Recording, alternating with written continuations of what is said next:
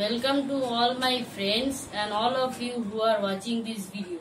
Today I am performing instrumental with my guitar of our national anthem which sounds like this.